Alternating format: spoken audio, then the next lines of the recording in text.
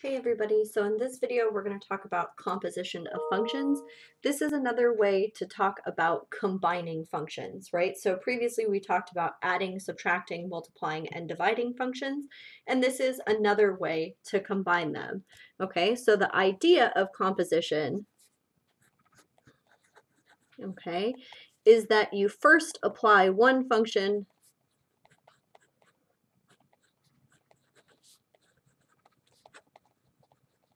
okay? Then apply the next function to your answer.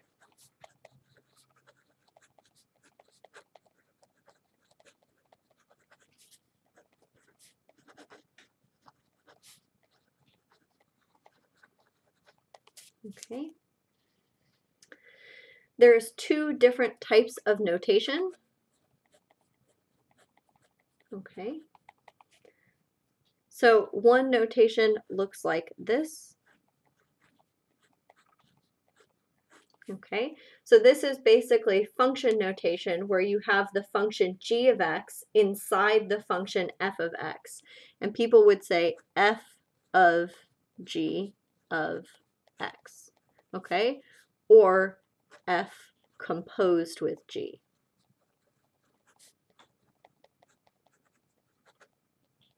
Okay.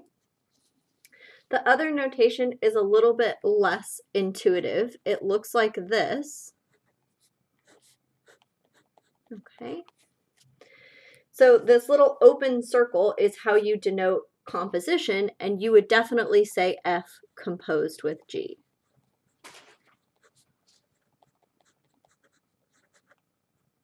Okay. So the function that is closer to x goes first.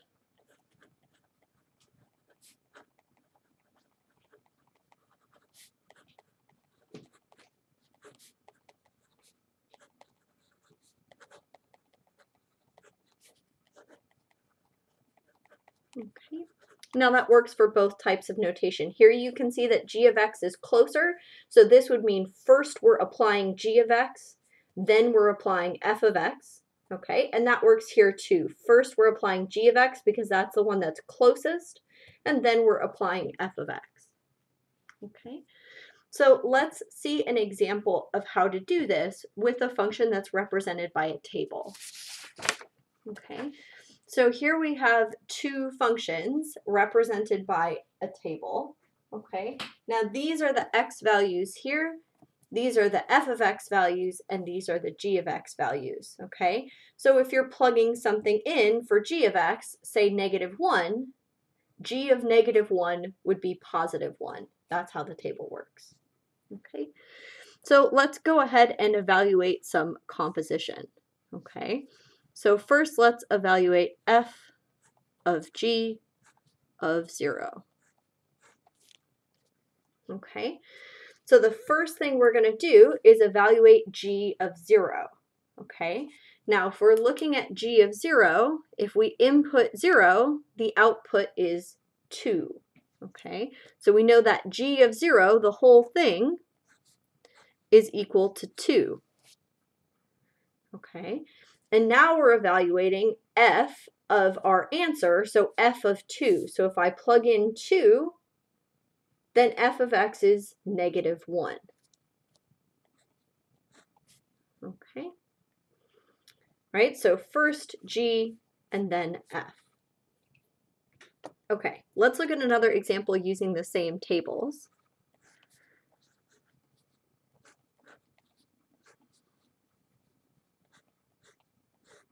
Okay, so we're going to do g of f of 1. Okay, so f of 1, we plug in 1. f of 1 is negative 2. Okay, so I would have negative 2 here.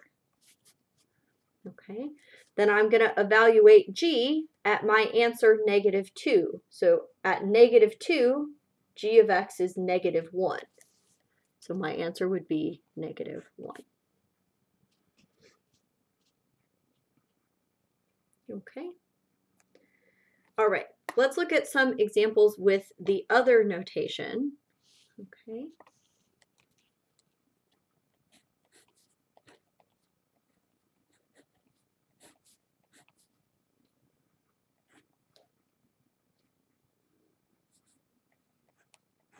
Okay, so I'm going to look at F composed with G of negative 1.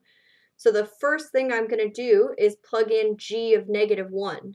Okay, so g of negative 1 equals positive 1. Okay.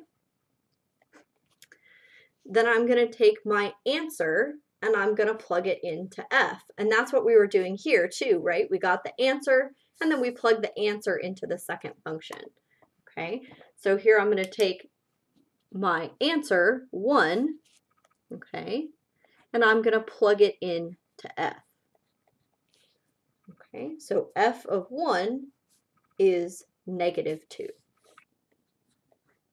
Okay, so that means that my overall answer is negative 2, right? This is just the intermediate step, just like here we have an intermediate step.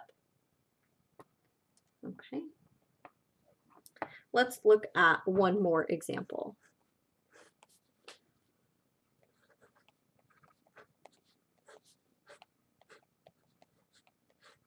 Okay, so we have g composed with f of negative 2. So we're going to look at our first step, which is to plug in negative 2 to the closest function. Okay, so f of negative 2 is 1. Okay, so I'm going to take my answer and plug it into my second function. Okay, so I'm taking my answer 1 and I'm plugging it into the second function. Okay, so g of 1 is 0. Okay, and because that's my second step, this is my overall answer, 0. Okay. So first the closer function, and then you take your answer from that and plug it into the second function. Okay, let's look at how to do that with a graph. Okay, so here we have two graphs, a graph of f of x and a graph of g of x. Okay, so first I want g composed with f of 1. Okay, so my first step is to plug that 1 into the closer function. So I'm looking for f of 1. Now if I look on the graph, f of 1 is this point here, so 1, 2, 3, 4, 5. Okay, and then I'm going to take my answer and plug it into g. Okay, so I take my answer and plug it into g. Okay, so g of 5, looking at my graph, right? 1, 2, 3, 4, 5. So that would be this point here, and the y value is 1, 2, 3, 4. Okay, so that means my overall answer, or g composed with f of 1, is 4. Okay. All right. Let's look at f composed with g of 1. Okay, so first we're going to take the closer function, which is g, and we're going to plug in our x value. So g of 1, we can see that it's this filled in point, not this empty point, is 0. Okay, and I'm going to take my answer and plug it into my second function.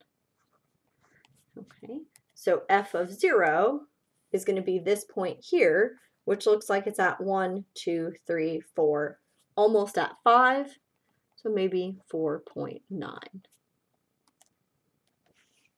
Okay.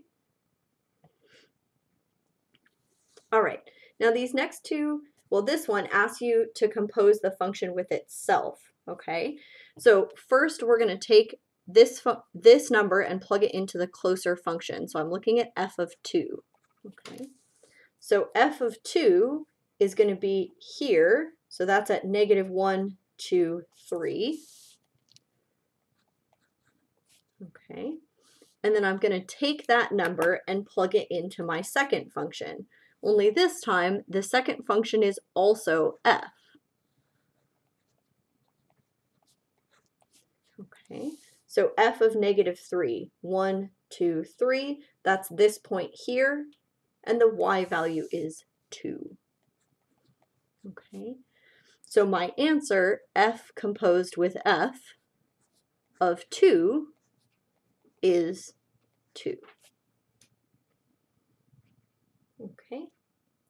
And let's look at one last example. I have f of 4 as my first step. Okay, so f of 4, 1, 2, 3, 4.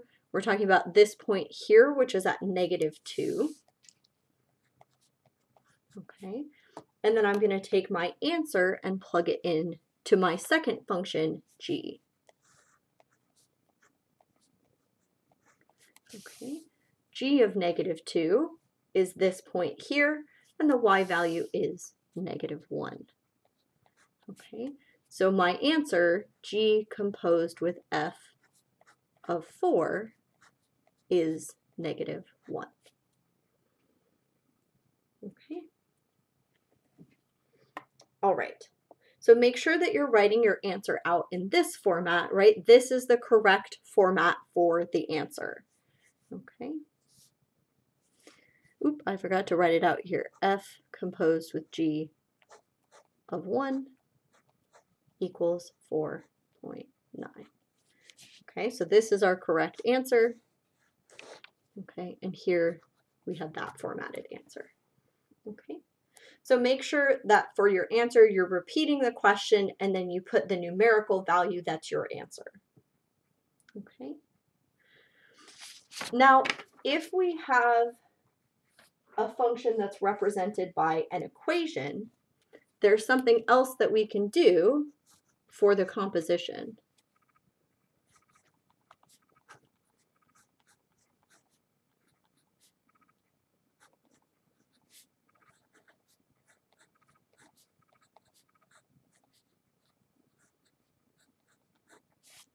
Okay, now let's look at f of g of x. Okay, again, this notation is a little bit nicer because it really tells you what to do. Okay, now this is telling us we're going to take g of x and plug it into f of x, and that's exactly what we're going to do. So we're going to take our function f of x, and we're going to plug in g of x. Okay, so our function f of x is square, okay, and we're going to plug in g of x.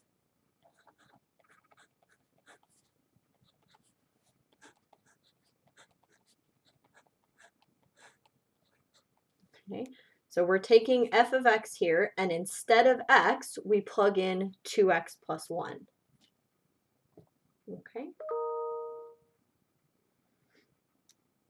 So this is exactly as if they had asked for f of 2x plus 1, right? f of g of x, and g of x is 2x plus 1. Okay. Let's look at another example.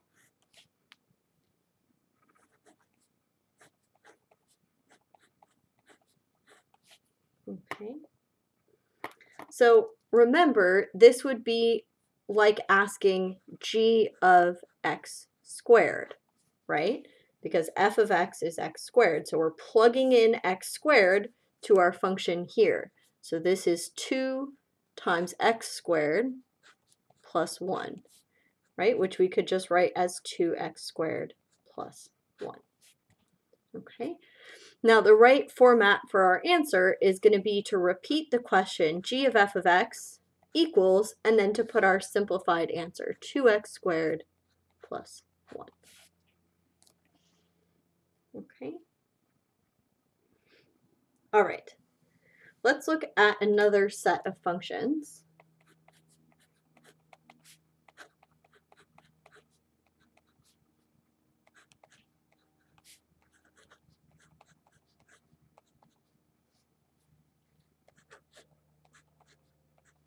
Okay.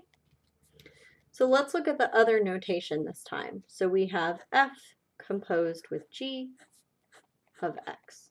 Okay.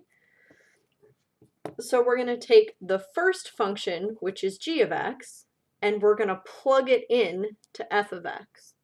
Okay. So we're going to take our function g of x, and we're going to plug it in here where we have x. So we would have root x. Okay. So we could just write this as root x cubed or x to the 3 halves. Okay.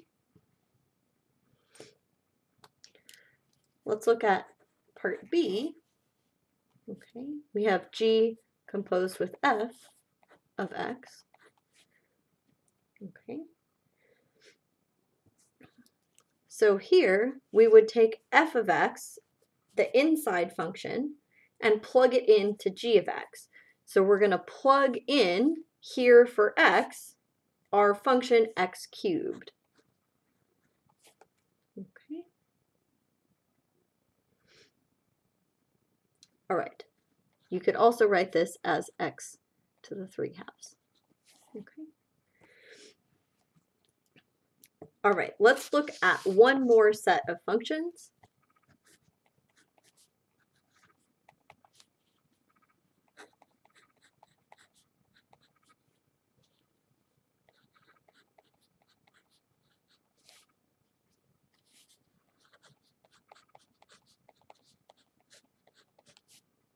Okay.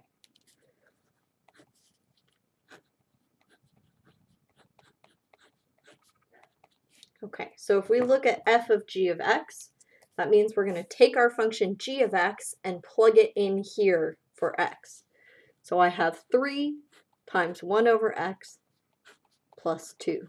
Okay, and the only thing we can do to simplify that is write this as 3 over x plus 2. Okay. Let's look at the other type of composition with g on the outside. Okay, with the other notation. So we're going to take our inside function f of x and we're going to plug it in here. So I have 1 over, and then I'm plugging in f of x for x. So I have 3x plus 2. Okay. All right. One last thing to point out about no particular example.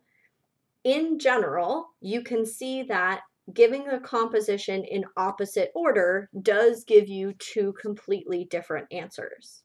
Okay, now that's not always the case. Here we can see that the answers are the same, but in every other example we've looked at, this example, okay, and even the examples with the graphs and the tables, F composed with G is completely different from G composed with F. Okay, I hope that makes sense, and I will see you guys soon.